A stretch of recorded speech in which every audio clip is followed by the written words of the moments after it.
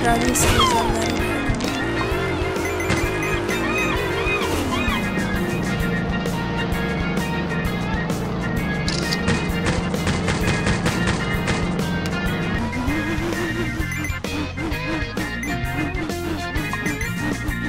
driving skills are very good.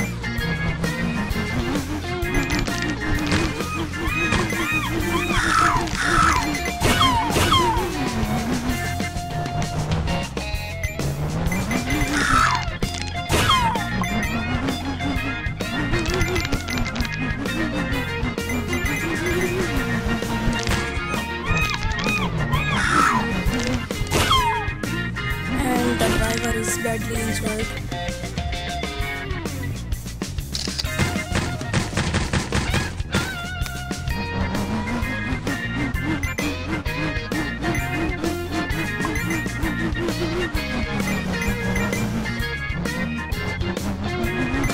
My driving skills are very good.